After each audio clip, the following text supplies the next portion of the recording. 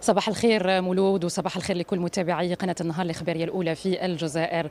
متواصلون دائما معكم مشاهدينا في هذا التغطية الإخبارية والمتواصلة على مدار الساعة منذ ساعات الصباح الأولى لترقب انعقاد أشغال قمة الجزائر الفاتح والثاني من شهر نوفمبر.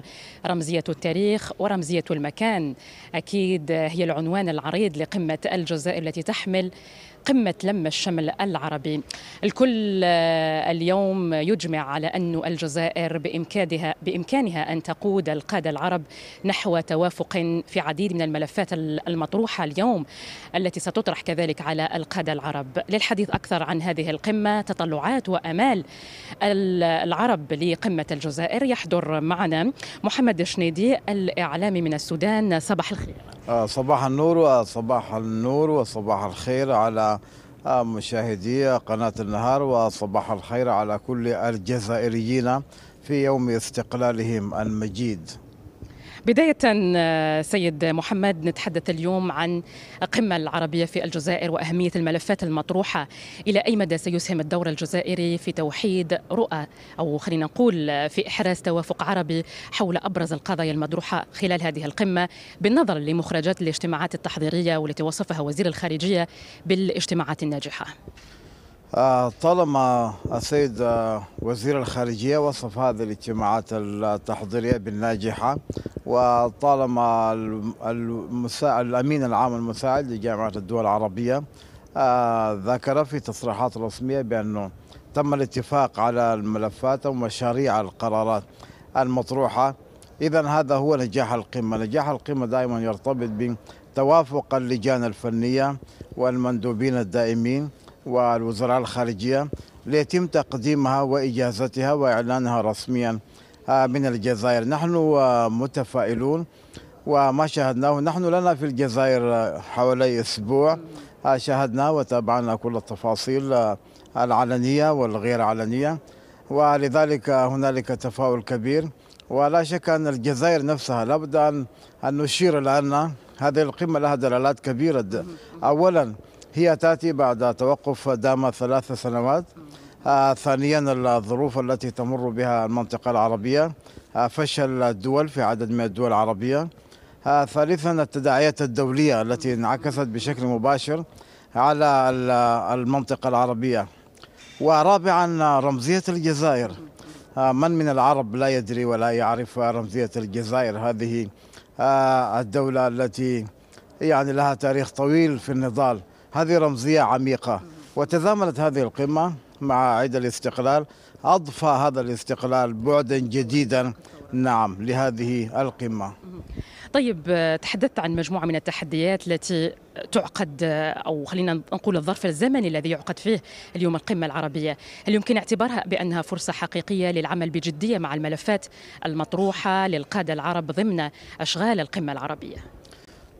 طبعا إذا لم يتعامل القادة العرب مع هذه القمة بالمسؤولية الإقليمية على المستوى العربي يعني أقول بأن مثلا في السنوات الماضية كانت هنالك دعوات للإصلاح داخل الدول ولم تتم ولذلك تجاوزت الشعوب العربية داخل بلدانها حكوماتها فيما يتعلق بالإصلاح. الآن إذا لم تخرج هذه القمة بقدر تطلعات الشعوب العربية ستتجاوز الشعوب العربية جامعة الدول العربية وتمضي في تحقيق طموحاتها كما فعلت في عدد من الدول داخليا. ولذلك هذه القمة الاستشعار المسؤولية فيها كبير. وأعتقد حتى الظروف المحلية والدولية ما عادت جامعة الدول العربية هي جامعة الدول العربية قبل عشرة أو عشرين سنة. ما عاد العالم هو العالم نفسه قبل عشرة أو عشرين سنة. ولذلك هنا استشعار المسؤولية كبير جدا. وأعتقد بأن القادة العرب يعني تقع على عاتقهم مسؤولية ضخمة ولكن دعونا نتفائل بأنه الظروف التي فرضت نفسها الإقليمية والدولية هي من ستقنع القادة العرب بضرورة يعني مقابلة تطلعات شعوبهم. وهذه الشعوب نفسها ما عادت هي الشعوب قبل عشرة أو عشرين سنة. هذه قمة استثنائية وهذه قمة لها ما بعدها وهذه قمة تاريخية في تاريخ قمم جامعة الدول العربية. أشكرك جزيل الشكر سيد محمد شنيدي الإعلامي السوداني. شكرا لك على كل هذه التفاصيل. تفضل. دعيني يعني آه، أذكر واحدة من أسباب نجاح هذه القمة. آه، كما ذكرت أنا يعني آه، نحن فريق تلفزيون السودان لنا أسبوع في الجزائر العاصمة. لا بد أن نضيف البعد الإنساني للإنسان الجزائري. هذا الإنسان الجزائري هذا شعب نبيل هذا شعب جميل هذا شعب يعني يحمل قيم عظيمة وأحاسيس ثورية مختلفة.